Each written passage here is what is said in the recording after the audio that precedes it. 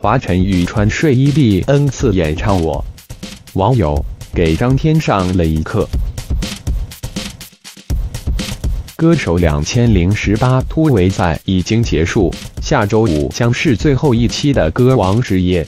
华晨宇、李泉、腾格尔、霍尊获得本场比赛的前四名成功突围。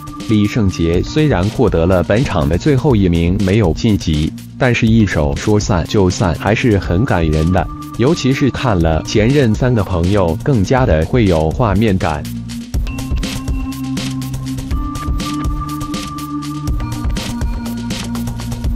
本期华晨宇获得了第一名，他选择的歌曲是张国荣的经典作品《我》。这首歌近些年被多名歌手翻唱过，其中华晨宇是众多翻唱者中非常突出的一位。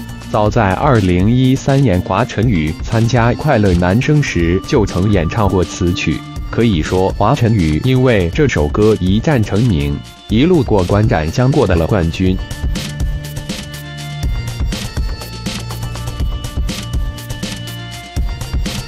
华晨宇演唱之前，张韶涵介绍道，这首歌是华晨宇每次演唱会时的最后一首歌。华晨宇出道五年，演唱过太多太多次。我只见华晨宇一身睡袍，神态轻松地走到舞台中央，没有华丽的编曲，开口就是唱。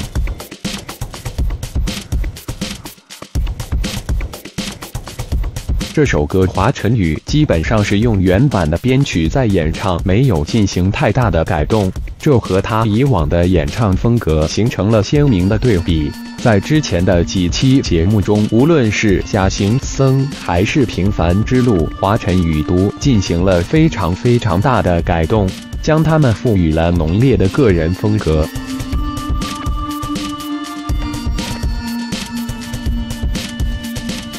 有网友评论说，华晨宇演唱时满满的都是张国荣年轻时的影子，无论是造型、演唱风格，还是一手拿话筒、一手插兜的动作，都和张国荣太相似了。华晨宇的这首歌虽然没有什么改动，也没有绚烂的灯光，但这首歌却是他参加《歌手两千零十八》以来最用心演唱的一首歌。有网友直言，给张天上了一课。华晨宇的演唱也让很多网友很自然地拿来与张天的版本进行比较。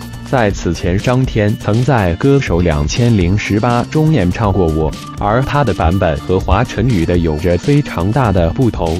张天将我进行了面目全非的改编，是爵士和百脑汇风格的结合版。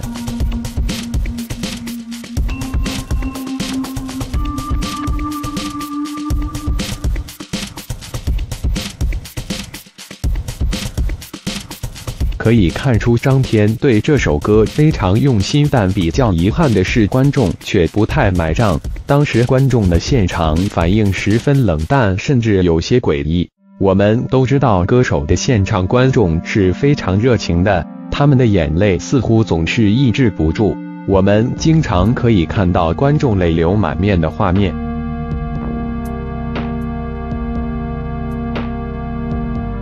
而张天的演唱，观众全程都是麻木的，只有他一个人在忘情的演唱。不仅仅是观众不买账，我们可以清楚的看到山河老师在张天演唱时眉头紧皱，一直在摇头。作为一名专业的音乐人，他的这个表情足以说明一切。